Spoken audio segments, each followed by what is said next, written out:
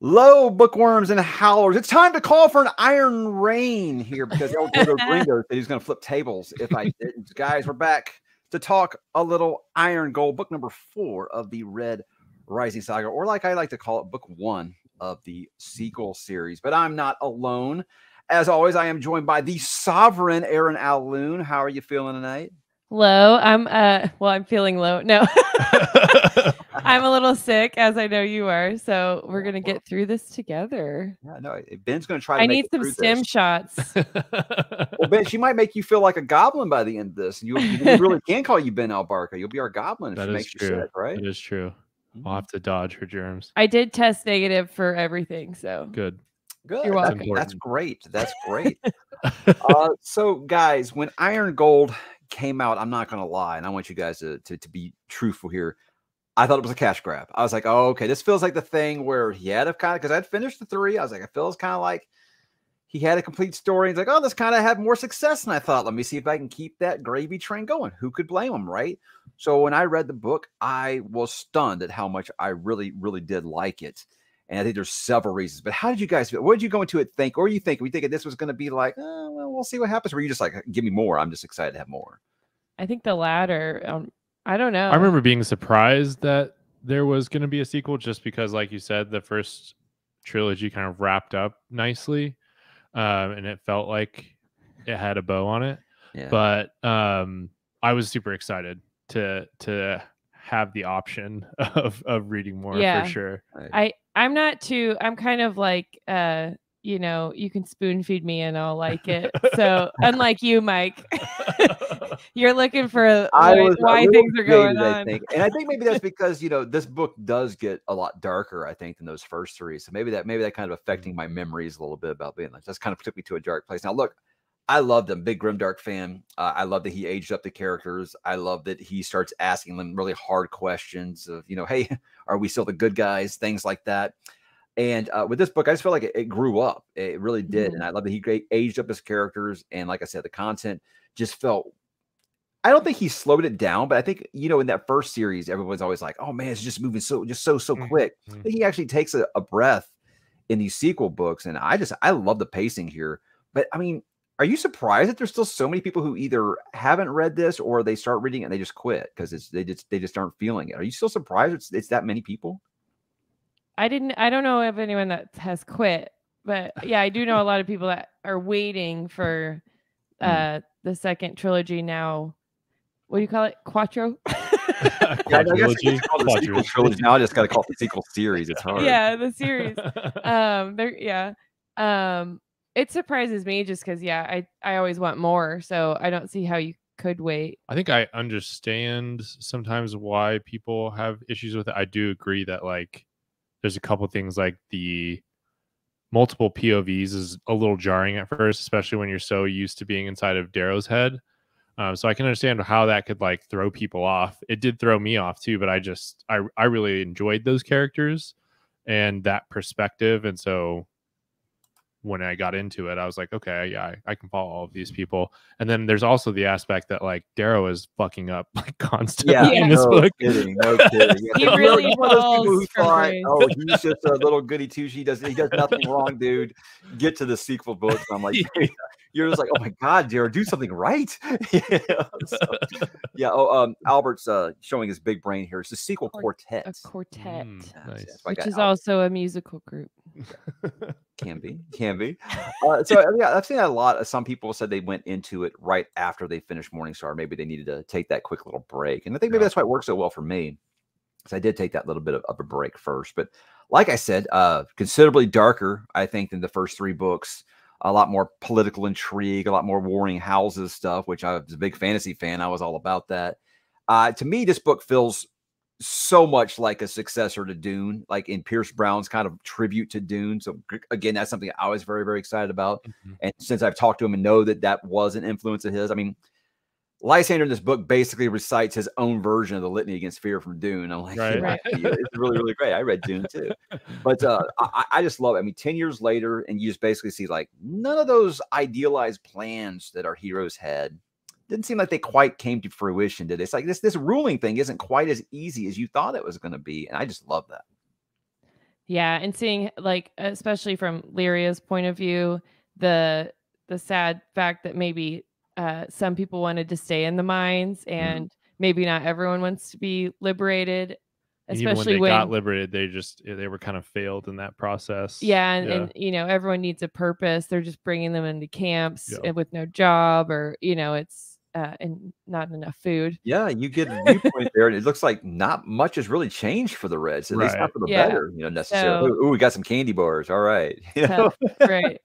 uh, life is still terrible down here. But uh, I, I think that is kind of a, a big standoffish point is, you know, even if people were more accepting, okay, we're gonna go multi POV instead of just Darrow. Well, you get two new characters. People are like, no, no, I got my characters I love. Why are you doing give me these two new characters here for it? You know, and I think that's really hard for some people because yep. big complaint I hear is, oh, I didn't really like Lyria. I didn't really like Ephraim. And I'm like, well, you know, give him Mm-hmm. some time. Character, he's, he's pretty good at this character thing. I think he'll get you there Yeah. eventually. but with We'll. Lyria, I I I did not like her when she was suffering. Um, I didn't really like her until towards the end of the book, and then I really like her now after or during Dark Age. So I think if you if you haven't read Dark Age yet, you know, give Lyria a chance now because she really comes into her. also own. like on the perspective of a reread i think her character's point of view is like you appreciate it a lot more at first you're just kind of like she's complaining about all your favorites and you're kind of like shut up like Right? these are all my favorite friends. characters yeah get over it. Oh, your whole family died. but then you kind of you read that whole story in iron gold and then you go back and kind of read it again and you're like well she's you know she's got a lot of really good points Oh, well, I'm. Yeah, still, yeah. I'm still, look, I don't hold grudges, but I remember. I never forget. And I'm like, wait, fuck Gamma. Gamma was the asshole from the first Yeah. book, you know? So I was already kind of like standoffish to that. Uh, go read books. Thank you so much. I appreciate you giving the books a try. I'm glad you did. He says like his favorite series now, and that is the goal. That's the goal to get more people to try it. So I'm glad that you you did do that. So let's dive into the actual story now. How about part one? It's called Wind. We see Darrow in the Seventh Legion uh, returning to Luna after a victory on Mercury. Everything's going great, right? So I think at first, I think the first big thing is like, wait, it's it's 10 years. They're still having war with the Ash Lord still 10 years later. The ass So lord. that was actually quite quite surprising to me to see that, wow, they're still in this 10 years later. definitely and how it had split up kind of they've they're ruling some planets and then the the core planets are kind of still under the society rule. So um that was that just shows you how formidable opponent that the society and the ash lord were i feel like Right, right. I'm sorry. I was reading at the same time. I'm uh, other people are, are defending Lyria down here, so that's good. Yeah. She does have some some people on her side. Sorry, side. I was harsh. I'm saying I do like Lyria, yeah, just not at first. yeah. No, it, it takes, and I think that that's that's just the kind of writer that he is. You know, like how George R. R. Martin will be like, "Hey, here's this detestable Jaime Lannister." And you're like, "There's no way I'm going to cheer for this character," and then a couple of Right. say like, "Damn it," you know, because a bit of a writer. So uh, just just trust the process. Is what I keep telling everybody. Trust the process. I think that what surprised me here at the beginning is now. Has Dancer become one of those things he hated? Is he a big old politician now? Yes, He's, he's, he's look. I knew he was going to be salty with with Darrow because you know Darrow gave up the sons that were in the outer rim. I knew that was going to be kind of salty. Yeah. But here he's quite pissed off that you know, hey, yeah, you won on Mer- on Mercury there with the Iron Rain that we told you not to do, and you did it anyway. So it, it was quite stunning to me to see. Okay, I thought that their relationship would be a little fractured because of that, but to see him actually being like a, a big old politician was just like completely shocking to me. But you know, a lot can change in ten years, right? Yeah, and it, you see the start of, uh, you know, we don't want Darrow the warlord now that we have power. Like you can right get in line, or you know, thanks thanks for handing us the the reins, but now you can get in line. So you already see the start of that conflict, which of course goes throughout the whole book. people know I'm doing a live stream, so they got to make sure they text me while I'm doing this. Okay, yeah, good times. Uh, so uh, let's see here. Uh, I got notes, but like I said, guys, in the comments, if I'm forgetting stuff, feel free to jump in because uh, I never claim to be perfect at this. And uh, you know, I have the experts on here, but you know, they're they're they're, they're not filling in the blanks for me. So no, I'm kidding. I'm kidding. You're So, uh, leading the show. he uses, uh, It's Yo- your YouTube channel. even though even though uh, what what uh Cassius is kind of out of this part of the story now. Oh, Julia isn't. So Dancer finds a way to bring her Mm. back in the Ugh, story. gross. Another use her surprise at against the Darrow. Triumph. Wants to eat Darrow's Yeah. heart still. Yeah. I, you think she's still like ignoring breakfast every single morning? I think she hasn't eaten in like the last She's 12 years, eaten. Waiting, no way. waiting until she can eat Darrow's heart, or did she finally let that go a little bit? Did hunger? She's eating something. Maybe just very little bit. But She's But basically eating gets him, mainly like, focused on heart, I think.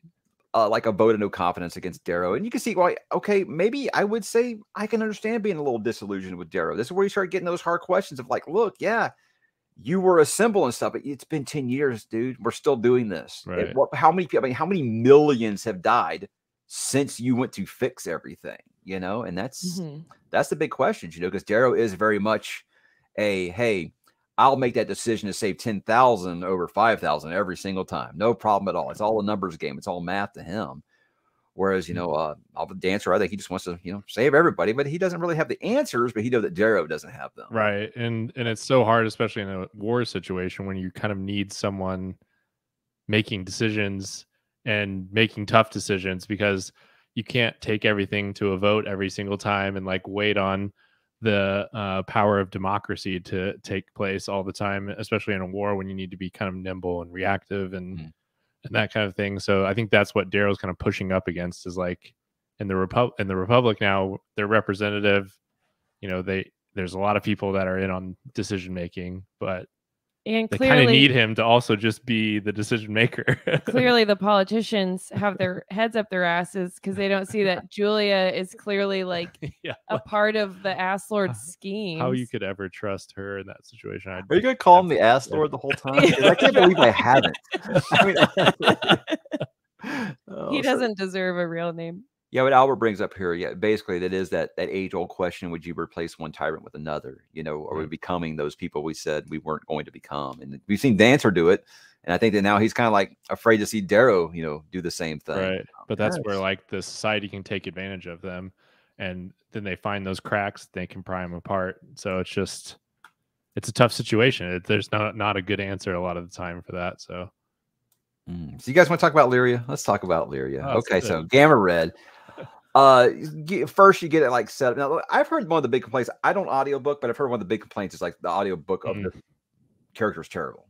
Is I, I don't She know. yeah, she she's reads she's tough and she reads really slow. So like that's another tough thing. Like the, I, The I would say is the just- Lyria audiobook narrator in this and the Lysander one are both difficult. yeah, Lysander one's pretty flat. he just has like I know I know he's like a calculating character, but that guy is like so flat with his yeah. voice. It's personality like a dead moth. yeah, it's, Yeah. it's just hard. You're going from like one of the best with TGR to one of the not best.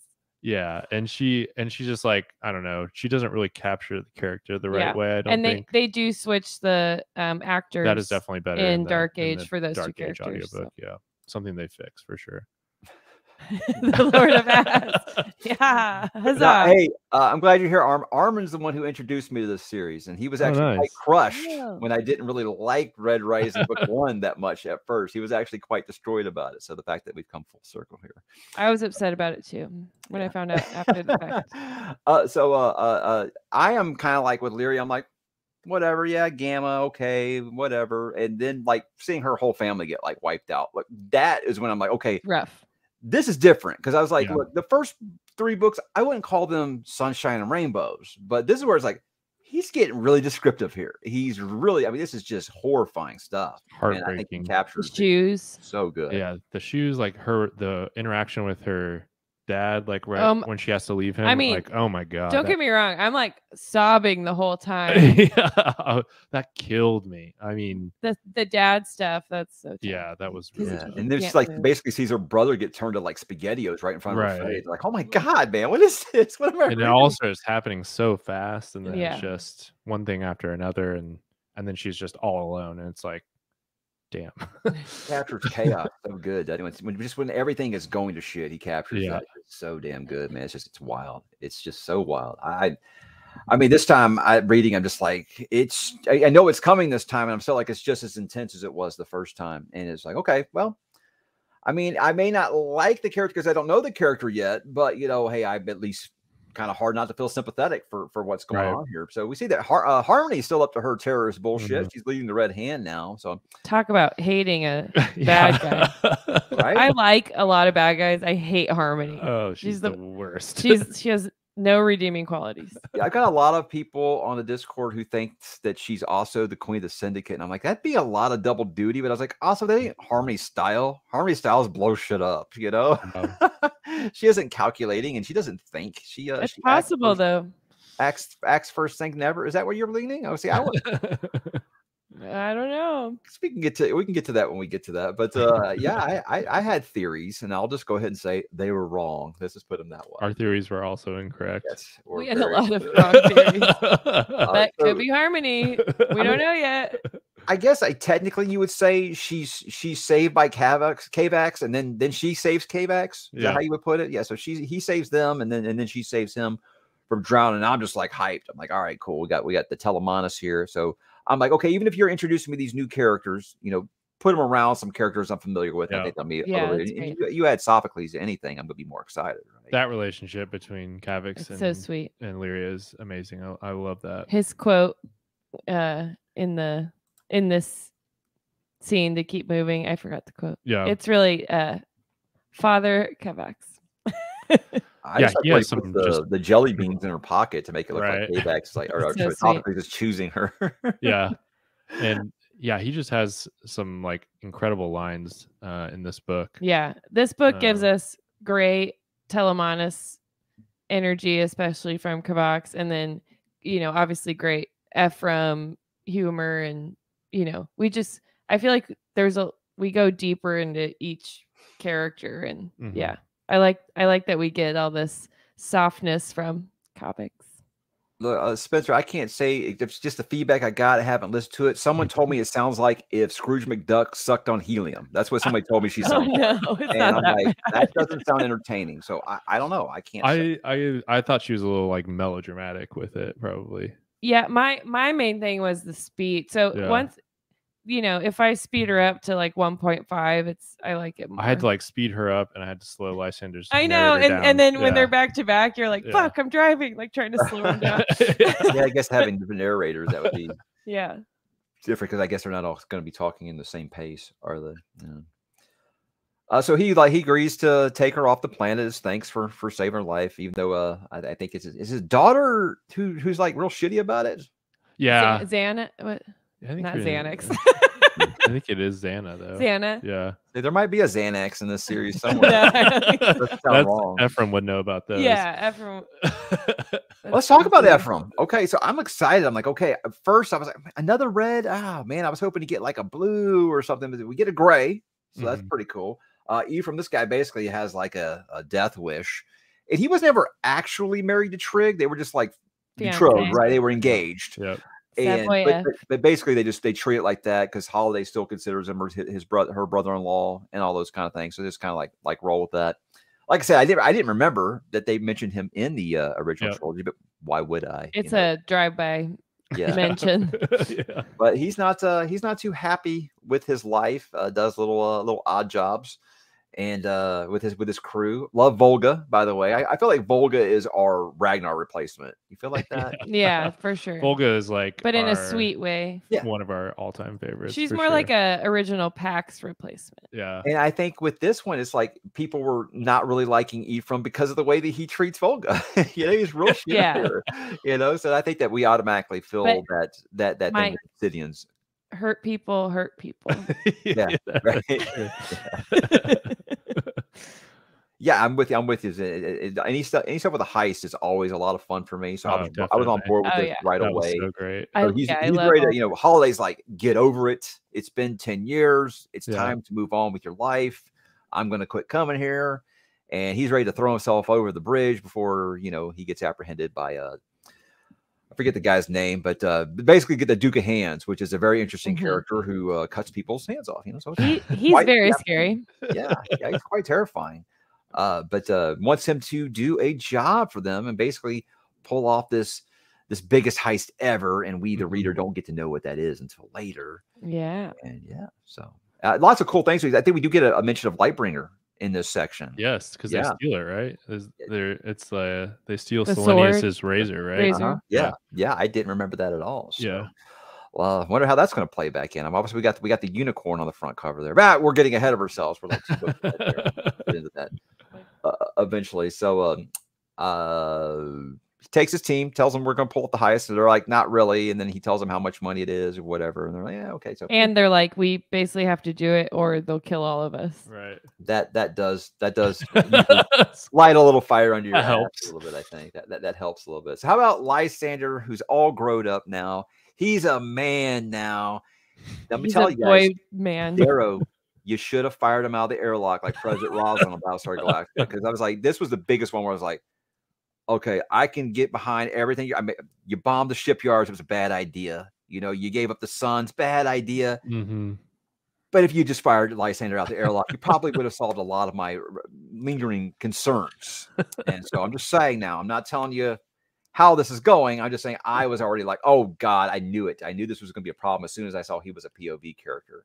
But I was excited to see Cassius again because I do feel Yeah. like, as much as I like Cassius, I do feel like in that first trilogy, I'm like, I just want more Cassius. Yeah, you and don't get to doing spend enough time three. He him. just Yeah. kind of was, you know, right, right there. So I'm excited that we're going to get to see more of Cassius this time. And see this that- version of Cassius reminds me of like Han Solo, heartbroken, out in space, spending time licking his wounds. Yeah. Yeah, yeah, He's he's got a definitely kind of a little, down on his luck on it. rogue. Yeah. on like an Yep. antique beat up ship that Still everybody's like, "We're sexy. flying Yeah. this thing. Yeah, Yeah. yeah. It's, it's, it's, a, it's a not the character arc I expected, but I just I guess I didn't expect Cassius and Lysander to still be together here, you know. But uh, I guess took him under his wing. I Roger, he you do with a lost. ward. You don't exactly be like, okay, well, I guess you're old enough now. See you later, you know. Right. But uh, you, you got to hope that maybe, hopefully, Cassius has stayed on the straight and narrow. And I mean, obviously, we saw his his mother earlier. It doesn't seem like he went back to his family, so that's probably a good thing. and uh, uh, you just hope that he put in the right messages, the right teachings with with Lysander. That's what you got to hope for.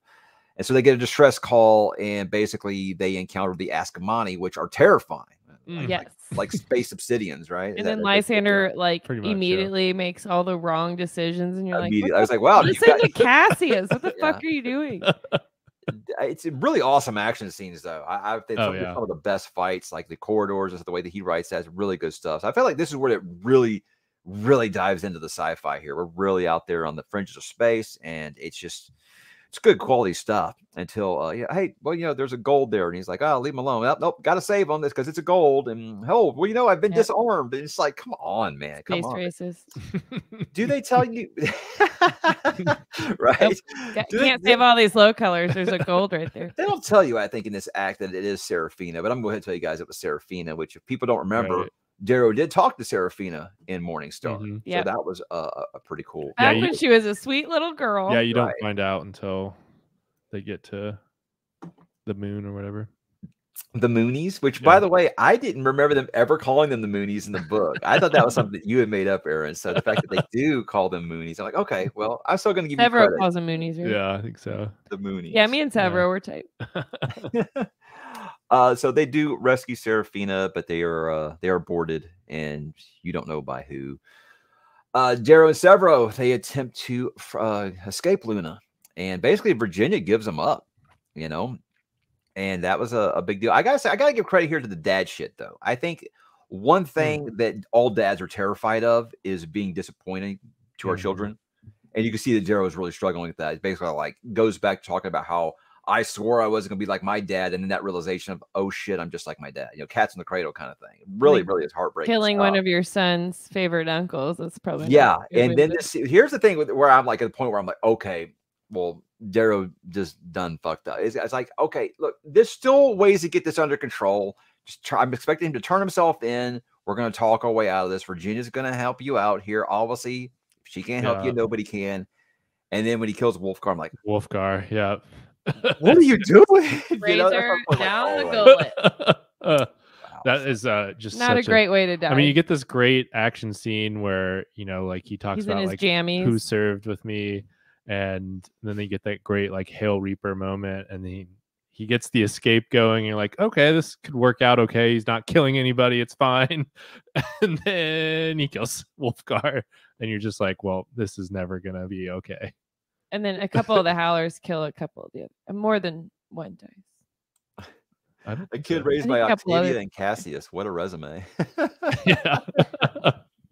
Gonna make all the right decisions.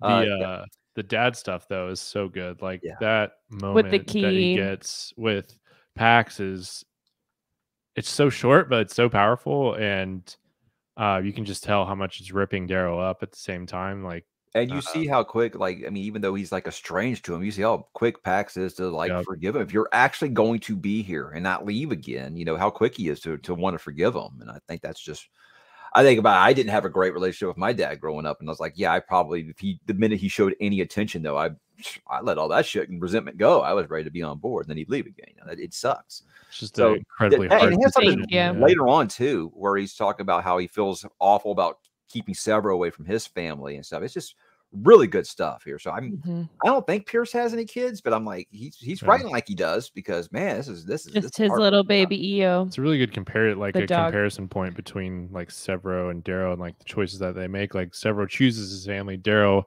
feels like he has this responsibility to foster this war that he created and and like he doesn't have an option. He almost like has to just give up his relationship with his son just because of all the other choices that he's made in his life and uh, And that's if- heartbreaking. If he did stay and stay with Pax and go to jail, possibly we wouldn't have had a book. Well, yeah, uh, uh, one thing that I one for liked is you can see he's actually like without saying the words, he's kind of jealous of how great of a father Sevro is. Right. He's kind of jealous of that, you know. Yeah. He's like, I wish I could do these things, you know. And so yeah, he's like almost scared of Pax. Yeah, it's, You it's know? definitely, heartbreaking yep. stuff. So it's it had to be even better for that relationship to to see him killing Wulfgar, you know, standing right there watching. It's really, really great. It's It was, it was like, accidental. ma- it was that's accidental, but when you're when you're already, you know, committing treason, you know, it's probably not they're not going to give you the benefit of the doubt on that yeah. one. I but it say, does kind of you seal, are trying to escape him. it it seals the already uh bad relationship that he now has with uh Sefi um even further. So then, you know, it's like there's no way she's gonna go with him after Yeah. that. Mhm. Yeah, yeah, rough stuff. So that takes us into part two, which is called Shadow. Now, let's get back to Lysander and Cassius here. They are taken prisoner by the Raa family. If you guys remember Morningstar, I said you were going to get more of the Raa family. Now I'm going to be straight up. This is my favorite part of the book. This Mhm. is where it is straight Song of Good Ice and. Fire stuff. I love the stuff with the Raa family. So so good. They are. I mean, you've already got this drama going on with uh with Romulus and is it is it Dido or is it Dido? I don't know if I'm saying Dido. the right. Is it Dido, I Dildo. I believe have no idea if I'm saying. it's not it's not that. I'm sure dildo, it's not. uh, but- but uh yeah, I, I love this stuff. I mean, uh Diomedes is like refusing to, or is it Di- Love Diomedes Diomedes. is the one's like refusing to to fight. Yeah, it's, Mhm. it's so good. I, all this stuff is just excellent, excellent. stuff. It's- Diomedes is like Cassius. Yeah. mhm. In Definitely Mirror. like That's probably the only one who actually has a chance in a fight against Cassius. Maybe is He's probably better. He might Yeah. be better. Yeah. that's that's that. That's the one where I'm like, well, I'd like to see that, and I'm like, but I like Cassius, so I don't want to see that. But you know, Mhm. get- Cassius is an old 30 year old now. yeah, I know, I know. He's probably got creaks in his knees when he stands up now, you know. But I just I, I love this stuff. This is a, a part where a lot of people have said it's where it got like really hard for him because there's so many names and Mm. there's so much going on. Yeah. And I'm like, as Yeah. a seasoned Song of Ice and Fire reader, I loved it. This was exactly what I wanted because uh, it just this felt very Song of Ice and Fire, very Frank Herbert's Dune with the Warring Houses stuff that I like and the inner turmoil within those houses. Just such terrific stuff. I love it. And I love the setting, but also how we learn more as they eat a meal together and about how they withhold, you know, servants from their children until they're old enough. And yeah, I don't know, kind of just the sticking more to the iron gold tenants. yeah, I, I like the their whole society up up there. Brian, it happens there, but a, a little later. I mean, I, c- we can talk about it now. I mean, how he mysteriously knows how to play piano, uh, Lysander. Um, Wow, what's It's in his on lockbox. yeah, he's got. I think. I think that uh, he might have had some repressed memories. You hear usually about uh, usually repressed memories or when you either had a very trying childhood or something very, very, very bad happened. So Maybe someone erased or- your memories. or maybe someone got in there and said deleted. You you never know.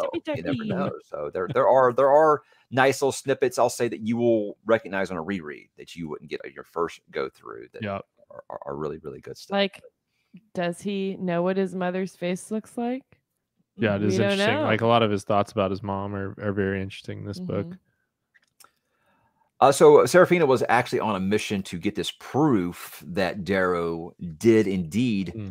not only bomb the shipyards of Ganymede, but that Romulus also knew about it and just, you know, just not gonna say anything. he suspected. He knew. suspected, Yeah. right, right, right. And, He's smart enough to figure it out. and you know they do that stuff that you wouldn't expect in a Red Rising book. They say we're going to take this to trial. You know, yeah. you know, you're just like, all right, we're going to fight now. But it's like, okay, all right, so we're going to slow things down a little bit. It's uh, very, very different. But you know that that doesn't stop Pierce from making sure he finds a way to have many, many sword duels in this. guys. You're right. and they're all really really great but uh yeah i just i just can't get enough of all the stuff here but uh, they do eventually find out who cassius is and he gets challenged to a duel basically to protect lysander's identity which is probably a, a good good move you know Mm-hmm. Which it- then it- Lysander throws away conveniently. unless unless you're on team fire lysander out of the airlock then you're Yeah. like okay well you know maybe maybe that's a that's the honorable thing obviously i don't imagine you spend 10 plus years with someone and not grow affectionate of them in one way or another you know so i mean cassius i mean he's heart of gold right you compare it to han solo he's got the heart of gold he says he doesn't care but you know he cares He does. Yep. Mm. And and this duel is these duels are incredible. I just Yeah. Oh my like God. and one my after the honor other. remains. And then, yeah, favorite part of the book favorite line. cassius moment in the series is him just laying out this entire family i'm gonna lay you guys out one by Like, how many more one. cousins do you have? Oh my Uh, god! I was like, he's gonna go through the whole lineup. This is gonna be great. I love it. Yeah. Yeah. So I mean, and then he just just his boss line every single time. yeah, the my honor remains line is I think that's my favorite line in the whole series for sure. Mm, This is the most. My I, catchphrase. I always I always credit uh, Darrow for having those big moments, but I was like, this is this is on par. I think Yeah. this was this is, that was really really great stuff. But of course, like you said, Lysander has to go and screw it up to save Cassius' life, and then what do you know? Cassius dies anyway. Dies Oh, anyways. right. Maybe you should have spoken up sooner than Yeah, You were gonna do it anyway. like, if you're gonna if you're going to you know give yourself up for what Cassius is clearly ready to die for, maybe you do it sooner. That's like in the movies when someone tells you to they're gonna hold everyone back while you run. They're gonna give themselves up. They're gonna sacrifice themselves for you to run, and you just stand there and watch for ten minutes. It's like Fucking license. run. Lysander. and I mean, even if he ha- hadn't given it up in that moment, you know that he would have folded, you know, right. in the next scene. So This duel is better than the gala. Hot take. I don't think so. I think this might be my favorite Razor fights the whole series. I I, I don't know. It's it's, I don't think that's too hot of a take. Yeah, I like that. they're It- equally love it. epic. It would be mild. It would be mild. It would be a mild take. But Yeah. Man, what are we talking about? Am I missing in the conversation about the diddling? What? What is Uh, going on oh, here? that's a Holocaust Yeah. thing. The brain diddling. oh, okay. Don't worry about it. sorry. You want to get brain diddled? Listen I to don't- HowlerPod. You know, I've been reading Dark Age, guys. You never know. You know, 'cause Dark Age is like, we'll, we'll, we'll get there. We'll we'll show you the diddling later, Mike, off air. All right, let me look through some Don't of these be comments. make scared. I haven't missed anything here because I'm sure we're, we're just glazing over. Good All call out, kinds of things. Daniel. I forgot about that. Uh, Dalinar, yeah, we got that Dalinar from uh from uh from Stormlight Archive. I could see that. hmm When Cassius sees another cousin to duel, insert Leo DiCaprio pointing meme here. Oh, yeah. or Spider Man. Yeah. Spider Man's pointing at each other. Yes, it's good. Uh, so yeah, yeah. Great, great stuff. Uh, so with Cassius, at first, I'm like, he's not dead. There's no way. And I'm like, okay, if they're trying to do like this Obi Wan kind of arc, this is Right. Lysander's Luke Skywalker moment. He's had the training. Now he's got to learn how to make, you know, hope that he learned the right lessons. Is he going to be Anakin or is he going to be Luke? You know, that's the way that I look at it. Right. I think even Pierce himself said at conventions he always goes back to Star Wars. You know, Yeah. so I'm like, okay, is this going to be Luke? Is he going to take those teachings that he had for five minutes from Obi Wan Kenobi and learn them, or is he going to do like you know uh, uh, Anakin, who had that lifelong teaching teachings from uh, Obi Wan and didn't apply them at all? So I think that's kind of the arc you got going for. Is he going to be like What? Obi Wan and be a, a ghost? Oh, yeah, Cassius. Force Ghost. I don't know if Pierce was going to go that Star Wars either. Hey, you know, crazier things have happened. You know, maybe Oh, he'll do his uh, his inner eye thing, and maybe he'll, Yeah. uh, he'll, uh, Yeah. maybe No, but we eye. we were convinced Cassius was alive because we were like, show me the body. Like I'm always Pierce- showing me the body. Yeah. Pierce But- never like lets you let someone die in the background. He always like wrenches the knife over and over, you know. So it, it was kind of weird that he just like died off camera, basically. Yeah, yeah, and I think that's be- because Pierce is that type to be like, "Oh, you think it's how, You it's it know- yeah, works? he Hmm, knows that that's know that you adorable." know. Yeah, uh, but yeah, yeah, yeah. yeah, it was it was not easy. It's- it's Basically, they're going to go and desecrate his body. I'm like, jeez, yeah, not exactly the uh, the burial in space that I would hope deserve for, better. for for for one of our one of our legacy characters. I guess you call him. It's weird to call you know a 30 year old a legacy character, but I, I guess it's what you call. When they start so young. Yeah. So uh, Lyria, and uh, she's in Hyperion City, and she meets someone named Philippe. And I'm gonna be honest, guys. First read, it wasn't until about the third or fourth chapter that I realized this was Ephraim. I had no idea. I even had gotten to an Ephraim chapter, and I'm like, "What's he talking about?" Yeah, So, that's did you guys catch it uh, uh, earlier or not? I think so. I think so. Yeah, was like, once I can't. once, I mean, it's been a once while. since I've read Ephraim it, was so- like talking about it, then you're like, oh shit. yeah, I might not have caught it like the first. No, not like when we first right meet away. Philly. Yeah, Definitely on rereads. Yeah, yeah, yeah. Show me the Show body. me the body.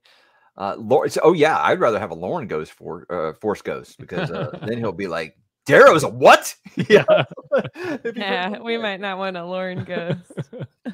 Yeah, well, see, with Sevro, even a body wasn't enough. We were still like, nope, nope, can't be dead, can't be dead. Yeah, I don't know that that's that part in Morningstar happened so fast. I don't know if I was able to even process what had happened before. You know, we got yeah kind of a things were resolution. moving quickly at that point. It was so yeah. fast, but uh, it turns out that the heist is to steal Pax and Electra. So, um, wow, okay, that seems ballsy. But you know, hey, if you got the best guy on the job, uh, but this is what I also love, like Go you know, this a going to the gutter type of heist. Like, let's not steal children, Ephraim. yeah, How Yeah. about we how about we back For all out? the terrible things that he's done, we still love This is him. probably Well, the worst. there's the Sephi that's like, yeah, we don't, we don't, we don't deal in kids. What is this shit? you Yeah. know? But, uh, yeah, it's it- it's pretty messed up. I think that that part where uh, you find out the the one I can't remember the name, the one person in his crew who had been traitor, and Mhm.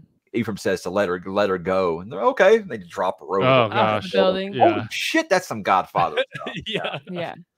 Yeah, so he's, This he's- uh, got me definitely the first time. Like this, I you could yeah, we know they're setting up this big heist, but definitely had no clue that they were going after the No, kids. right. Like he does a really good job of like showing you that they're planning, but you don't really catch on to it. And then you think it's another treasure. you can definitely kind of see it a little bit more on the reread, but it's it's well hidden for sure. Oh, for sure. Uh, would you say here? Uh, E- Ephraim knows what he's doing. Uh, like like like they like they did kind of say though. Well, Yeah. it is kind of this or die. You Yeah. know, I don't think it's going to be a quick death. You know, so Not uh, one you'd want.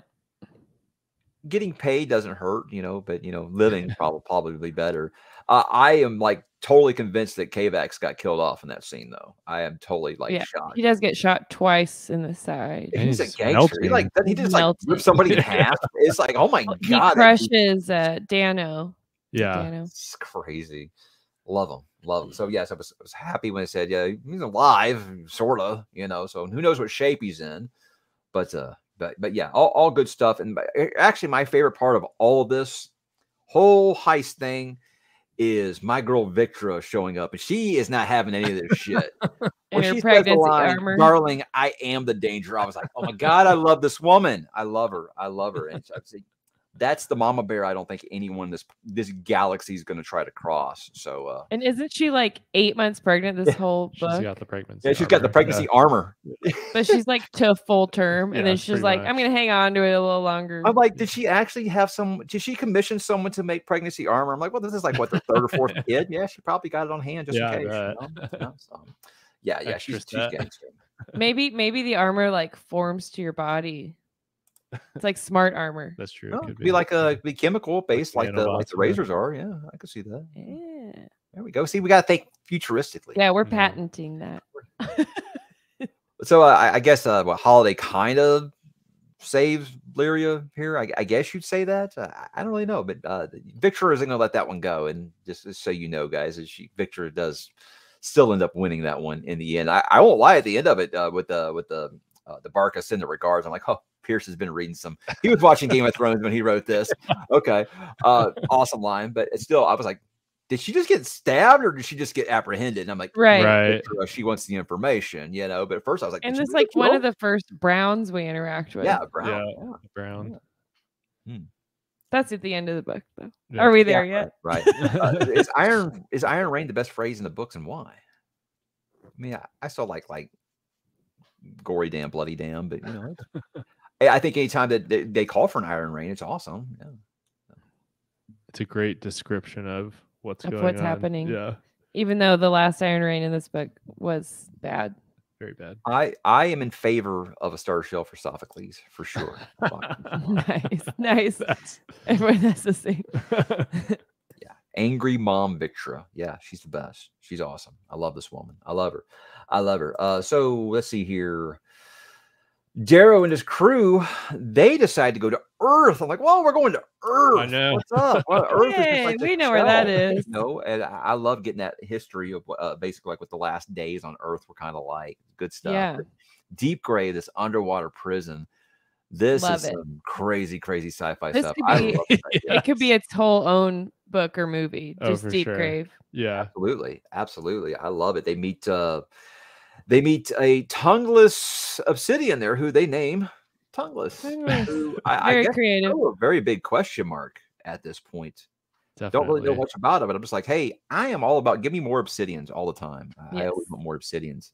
But in Tongueless seems to be more than what meets the eye. we were just asking, begging for him, so someone to give him a pen and pencil and Yeah, a to piece write of paper to write something down. Like, just A tell us your story, man. Maybe he doesn't maybe, maybe he's I don't know. Maybe he doesn't know how to maybe he doesn't know how to write. I don't know. Someone could teach him sign language or something here. Oh, no one tried. yeah. Nothing. Well, I mean, like, we do oh. have Darrow and Sevro here. I wouldn't say academics are probably the thing. To, That is- they're I think Darrow is very smart, they- but I don't think he's have quite a teacher. And Sevro's just like, "Nah, tell me Give- what I want to know. I'm going to cut your ear off. Give him the brain thing where you sleep and learn history. Yeah, yeah. I, I'm, I'm not thinking, you know, 28th century. Like, uh, I don't even know what century it is. Um, That's a that's a point of great contention about what year it is in these books. It's in the future. It's in the future. I like that. Uh, so we basically get to meet Tactus's brother here, Apollonius, and this Mhm. is probably my favorite secondary character in the sequel books, guys. I think this guy is so Grand Admiral Thrawn from Star Wars, where he's very methodical, he's very educated. He uses his intellect in a way that n- Tactus never did. I don't think Tactus had that ability. I love how he studies music and things like that. He plays the violin. This is a really, really neat character. I like how he's naked all the time. I, I don't know if I'd add that to my pros list, but hey, I'm not going to tell anybody what to like. and not Love it. like Any stories? yeah, I, But I think it's cool. You get the backstory about how basically this is like sounds like the one guy that Darrow might have actually feared a little bit. Right. He's Right. so crazy. Yeah, good stuff. and I love how he like broke himself down and and when he's in prison and then like built himself back up into this like what he is right now. And he's just so nuts. And but in like the most like fun way. And like I love when he's just rattling off that entire speech and Sevro's just like did you memorize that? Like what is going on with you? Like, yeah. He's grandiose. yes And so you learn that the the Ash Lord basically gave him up, you know, and let him kind of rot there. So he's kind of maybe looking to to get even a little bit. So it's it's it's an unusual alliance, an uneasy alliance, I think. So they suicide squad him, you know, put a little mm-hmm. bomb in his brain, make sure that you keep up your end of the bargain, and then after you keep up your end of the bargain, I'll cut you loose. And it's either that or stay in an underwater prison, you know, for more right. rest of your life you know even though it doesn't seem like there's very much very much authority working around there like the the i guess you would call him the the warden isn't really doing very much is he? So. Except getting his eyes popped out. yeah. You can just tell this is like such a rotten kind of like in its core idea. it's just kind of like forgotten it's just it's at the Yeah. bottom of the ocean on a planet no one goes to anymore it's just like it's just like the Uh, asshole end never a good universe. idea to put all of the bad guys in the same prison. Whose idea was that? Don't we have like, you know, planets we can spread them out? everyone's talking about apple in the Yeah. comment Yep, apple he deserves all the love. I, I didn't think that this was such a beloved thing so it's news to me I love Apple. We talk about Apple constantly in our podcast. I have a crush on Apple. the Minotaur. So part three is called Dust, and this is we kind of already skipped ahead. What Cassius has his duel, whatever. So I guess we could talk about. Um, do you think that Seraphina and Lysander is that like a is that going to be like a thing, or is she just weird and crazy and maybe a little bit insane? We think Lysander's a virgin. Well, sure. I mean, he's been hanging out with Cassius, but I mean, The first pretty girl who's I think she's too much woman for him, but he would like.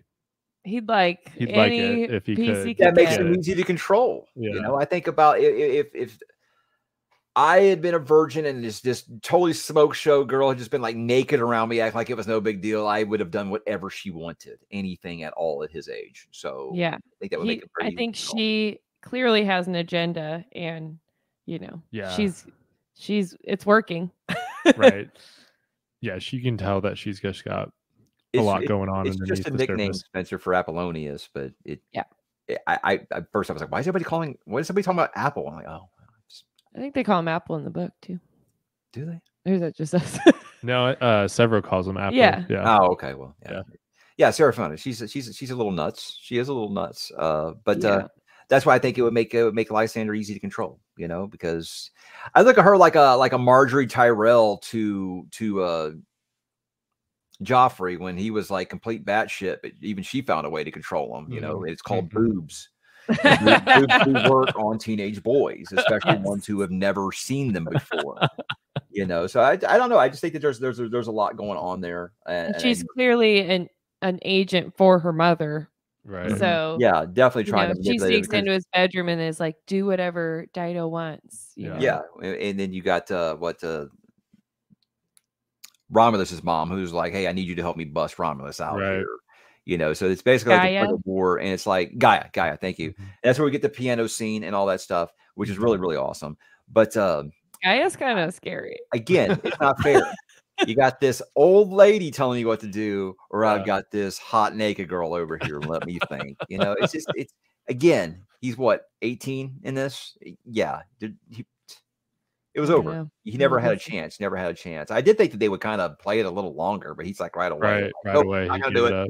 Yeah. I did do it. like Gaia and her Obsidian's relationship. What was his name? Oh man. He don't gets his hand cut off. Yeah. Not so good. He's like an old guy. But that was cute. They did have a sweet relationship. Yeah. There's so many hands and limbs that get cut off in these books. Yeah. I feel like I remember. Uh, yeah. See, see, Dido, Dido. Everybody's talking about Dido.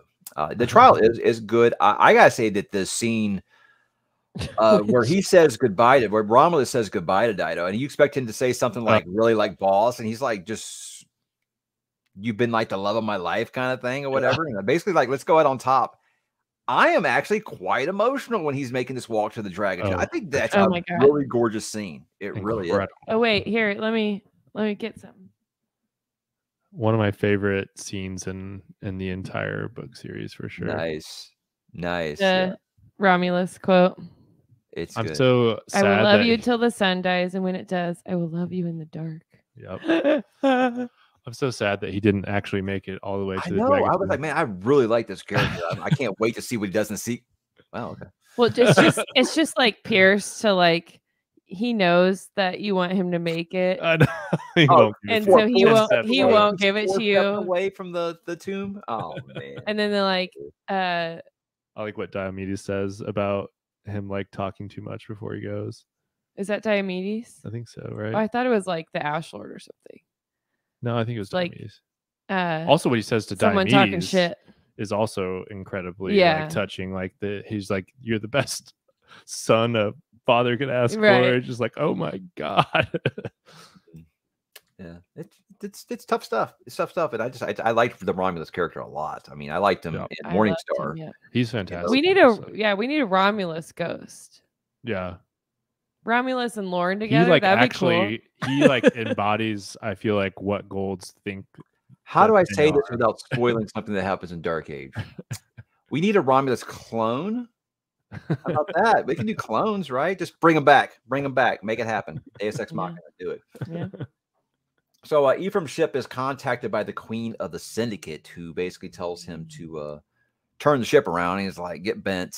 Uh, you know, basically, he's he's had a, a crisis of conscience. He's like, I'm not going to do this. I'm not going to turn these kids in to this life. Uh, he's he's in pretty bad shape. He's bleeding a little bit. You know, Yes. so uh, Yeah, Got shot a little out. bit. The the heist of the children yeah. is let's talk about as. Electra. How insane is that and shit? the ha- all the hatchet face stuff Yeah. and the way Ephraim talks to her is that so funny. dialogue is really good. Oh, It's- it's it- so it- if you've ever, if you've got that point, like, look, I couldn't talk to kids at all before I had kids, and now it's amazing. It's like a new talent. I, kids are complete strangers. I come up, I can be witty with them, I can be sharp with them, I can say all this like totally like savage You're like stuff that I shouldn't be saying, and I get away with.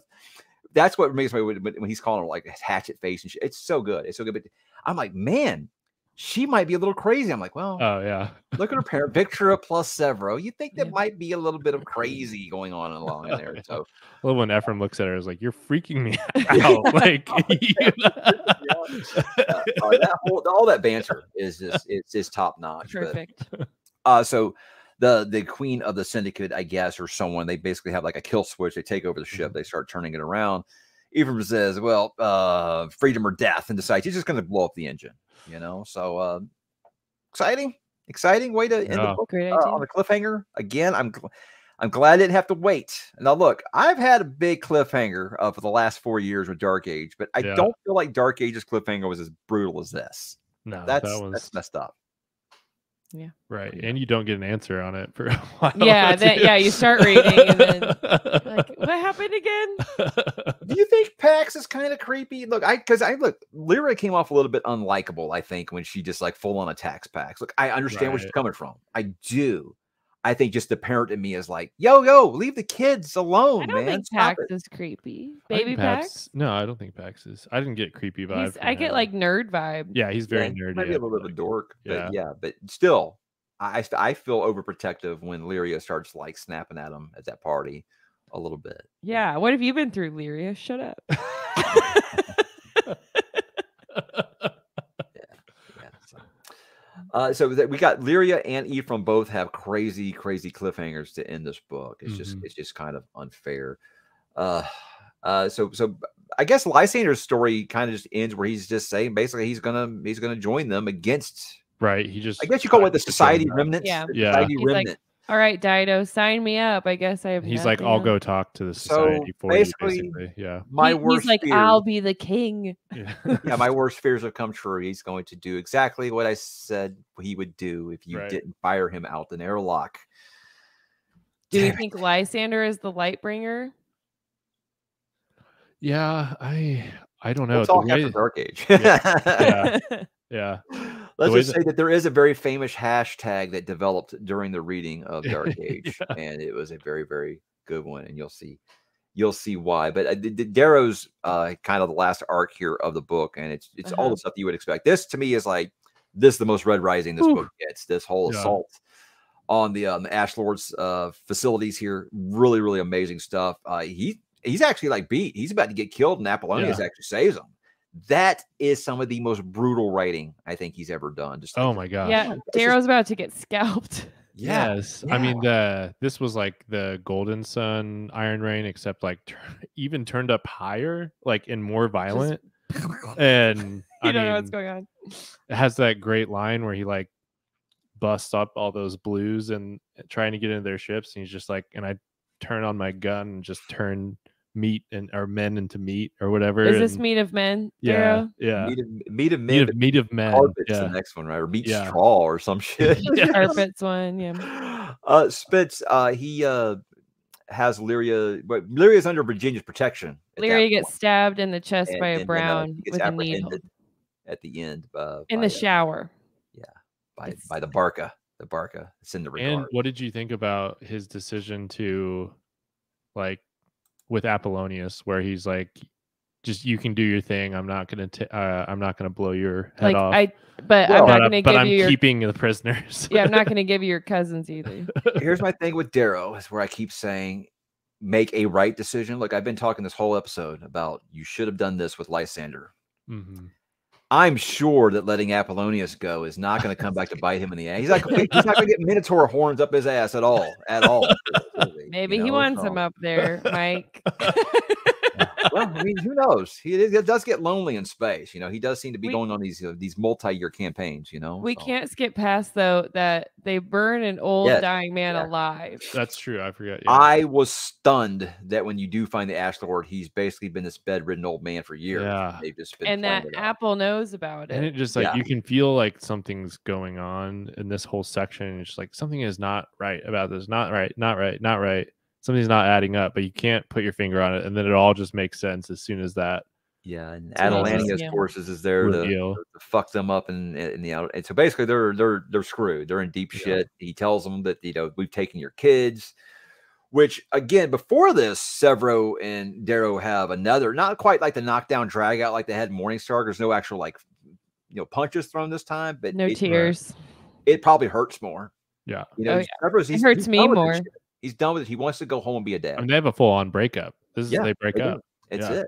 That's it. Like I was, I was like, there, Sevro, what are you doing here anyway? You don't need to commit treason. I, I understand bros are gonna be bros, but there's a point where you gotta be like, I got a wife and kids now, man. I can't, I can't be going off go gallivant around the galaxy every time you get a wild hair up your ass, you know. So I, I get it. I get where Sevro's coming from. It hurts. Yeah. It hurts. Knowing this bromance is pretty much like Clayton brings up a good point that it's Apple that poisoned uh, Right. Ash Lord in That's the what I first place. said. He knew what was Right, going on. right. Yeah. Yeah. And He had been poisoning him. Right. Yeah, yeah, so many good revelations here, but it's it, it's it's all setting up what's to come in Dark Age, guys, because there's just some messed up stuff with this story arc. Uh, like the part of Dark Age is the hard because I'm rereading it right now, guys. And s- and Darrow's part of the book is the hardest for me to read, not because it's bad, not because it's awful, but because it's so fucking bleak. It's just Yeah. so- you are down in the muck. It is the darkest and most brutal that the series gets the entire time, and it's tough to read at some parts. And this is just the beginning of what you're going to get with that stuff in Dark Age. But yeah, with the Ash Lord and actually like burning them alive. I mean, I'm kind of like, "Mm, burn you motherfucker. But then also I'm like, man, I know. And won, you're He now won. the Ash Lord. yeah, the Ash Lord is now ashes. Yeah, it happened. But Get it? uh, that's pretty much uh, where we end. Sevro's going to return to go find his kids, and Darrow makes the choice off to to Mercury. stay and fight. Yeah. Uh, That's what Gotta Darrow do. He just- Save the Mercury people who don't want to be saved. I Right. don't, maybe, maybe we'll know that. Yeah.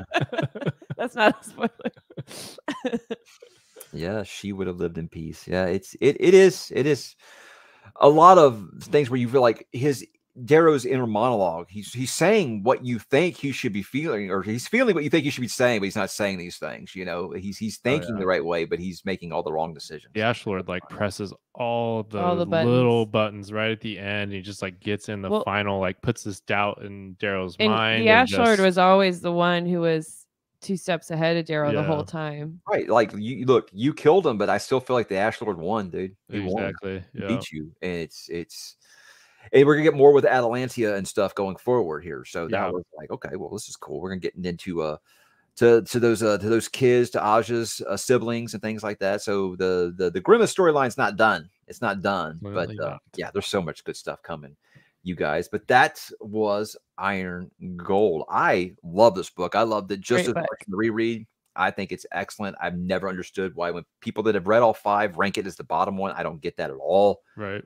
I think to me, because like I said, I felt like this is where it took it from really fun Star Wars expanded universe sci-fi fun to this is Frank Herbert's Dune now. I love where he's going with this stuff, and I couldn't wait to get more. We'll see. You know, Yeah. See, I 'cause- mean, like this is this book has some of the best scenes I feel like in the entire series. Like you've got the Cassius scene, you've got the Romulus scene, and you've got all the comedy and laugh out loud right? And like Ephraim stuff. uh, this the final scene with the Ash Lord. It's got great action with that. Is this the book where it's like if I had a bagel, I would eat a it? muffin? Yeah, Muffin? yeah, Fuck. Oh, yeah. Oh, Muffin. Albert said Sevro was a bitch for leaving. Oh, Changed my shit. mind. Well, I'm I'm a dad. I can only think I would do the same thing Sevro did. I I'm, I'm sorry. I got to go get my kids. He didn't want to go in the first place, Poor but Sam. that's why I, I feel like this book is like majorly underrated. I don't, I love it. Yeah. and I feel like people are starting to come around on that. I think I loved just- it way more on a reread though. I have got that uh, on this Yeah. reread. A lot of people that are rereading it a second time are saying they, they enjoyed it a But lot. like the more first time, it's like you're figuring out what's going on, and it feels very bleak, especially with I Right. still think Arrow, that people you were know. just standoffish about Ephraim and and, and, and yeah, Lyria. the different really did. characters, like it just feels different, and you're getting used to that. And so, like once you know what to expect there, and like you like those characters after reading the story for a while, you Albert, know? I would choose my family over a billion people. I get where Sevro's coming from, but I get where you're coming from too. I do. I do.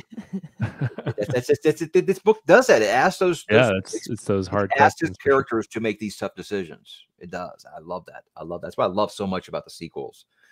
Because every every all of the your mistakes are going to come back to haunt you, and every decision you make is going to cost lives somewhere, and you got to decide, well, do I save these people or do I save these people? You know, and do I do this or do that? And what's going to be the fallout from it? Ah, we'll find out.